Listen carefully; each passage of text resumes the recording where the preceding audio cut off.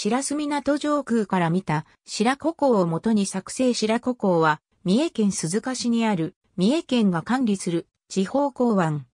金沢川のもたらす土砂や伊勢湾の沿岸流によって形成された砂市が堤防の働きをなす天然の良港として古くより利用されてきた。現在の港は太平洋戦争中に進出した大日本帝国海軍の整備した軍港が基盤となっている。ここでは北側に隣接する鈴鹿市の管理する第二種漁港である白子漁港についても記述する。鈴鹿市南東部の白子にある港湾。本来一つの港であったが、法律上は1951年以降、白子港と北側の白子漁港に区別され、管理者も白子港は、三重県、白子漁港は鈴鹿市と分かれている。しかし実際には、ほぼ同一の港とみなされ、2007年度の統計では、白子港が扱う貨物の全量が水産物であった。白子港の港湾区域は白子一丁目の差しの北西端を中心とする園内のうち、水面に相当する部分200ヘクタールである。沿岸では、イカナゴやイワシ漁が盛んであり、他にも以下のような魚介類の水揚げがある。二つの港湾区域が設定されている。江島地区鈴鹿市江東町、上がり江東町、江島本町。港湾の北部にあたる。前浜地区鈴鹿市白子一丁目、白子町。港湾の南部にあたる。古代より神戸の外交として人や物の輸送に利用され、平安時代には伊勢平氏の水軍、古市の白地島の根拠地となっていた。白地島の名は白布を身につけて訓練に励んだことに由来するという。平凡者の三重県の地名によれば、古市とは白子の古名であるとされ、白地島が白子の語源であるという説もある。室町時代にはすでに繁栄を築いていたことが分かっており、山科カレー記の文明12年11月15日の記録には白子港を出入りする船から入港料金を徴収していたことを伺わせる伊勢国立魔法別津領という文字が見出せる。また、渡来郡大港の入港記録、船船終戦帳には、永禄8年に白子から3隻の船が寄港したと記されている。さらに、本能寺の変に際して、徳川家康が堺から三河へ脱出するにあたり、川南村の小川孫さんの船で白子港から出港したとされている。ただし、出港地については、若松や四日市などの遺説もあり、家康ゆかりの地としてうまく宣伝できた白子が後に繁栄することに成功したと考えられている。江戸時代には、紀州藩の大官所や紀州公別邸、目付役所、物頭役所が白子に置かれ、伊勢商人もここを重視した。伊勢商人は、伊勢国、尾張国、三河国の木綿輸送を確保、統制する。ため江戸で大伝馬町組と白子組を結成し、白子の積み荷問屋や海鮮問屋を支配した。天明年間から文化年間の白子組の戦国戦数は25隻に及んだという。またこれら三国以外にも大和国など内陸から木綿が関東地方へ送られ、関東からは九十九里浜の星化や雑貨が届けられた。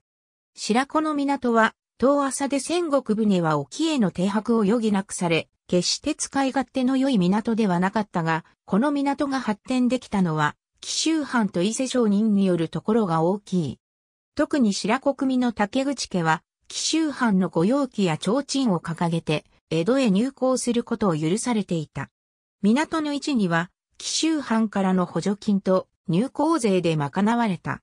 歴史上有名な事件としては、大黒や高田優のロシア漂着がある。高田優以下16名を乗せた新章丸は、天明2年に江戸に向けて白子から出港したが、暴風雨に巻き込まれ、アリューシャン列島、アムチトカ島まで流されてしまった。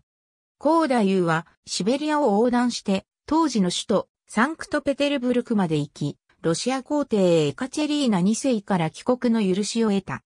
完成4年にアダム・ラクスマンに伴われて根室へ上陸10年ぶりに日本への帰国が叶った。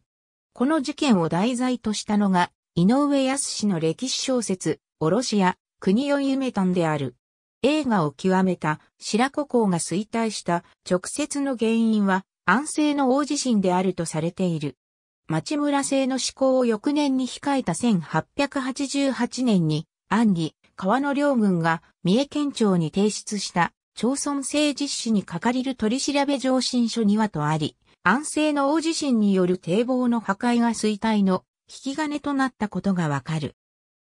さらに、明治維新後の紀州徳川家からの援助や港の税収がなくなったことが決定打となったとある。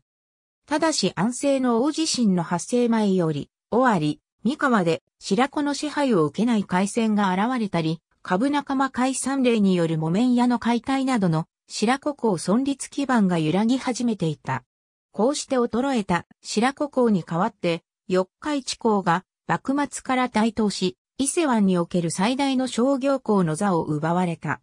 1904年、当時の須原七郎兵衛白子町長によって新しい防波堤が築かれ、以降は漁港としての活路を見出していく。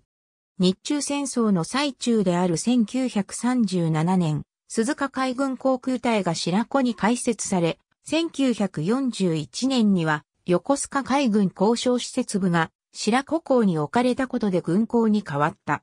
1942年には大日本帝国海軍の軍事施設が建てられ、白子町は海軍の町になっていった。第二次世界大戦が終わり海軍が撤退すると、白子港は再び漁港に戻り、1951年12月13日には、港湾北部が白子漁港として第二種漁港に、1953年9月22日に残る水域が白子港として地方港湾に指定された。1959年には伊勢湾台風の被害を受け、高潮対策で護岸が整備される。1980年からは水揚げ量の増加や船舶の大型化に対応するため、三重県の事業として新港の整備が始まり、1989年からは水辺に親しむことのできる緑地と釣り堤防の設置工事を開始し、1992年度に観光した。これ以降、伊勢湾北部の拠点漁港として機能している。入港船籍数取扱貨物量2006年のデータを以下に示す。津松坂港や伊勢島の港湾のような大型の観光地ではないが、以下のような場所がある。周辺の観光地としては、港の北に千代崎海水浴場、南に鼓ヶ浦海水浴場があり、伊勢の海県立自然公園に指定を受けている。白子駅からは、鈴鹿サーキットモートピア行きの三重交通の路線バスが設定されている。白子港は名古屋市近郊の釣り場としても利用されている。専用の釣り場の整備もされ、アジハゼ黒鯛などを釣ることができる。釣り堤防には転落防止用フェンスを設置、駐車場、トイレが近くにあることから、家族で釣りを楽しむにも適する。2005年10月18日には、財団法人日本釣り振興会の主催で、水辺感謝の日と称して30人が清掃活動を行っている。現在の鈴鹿市役所所在地、内陸にあり、城下町として発展した。現在の鈴鹿市へ島、白子の隣村だった。ありがとうございます。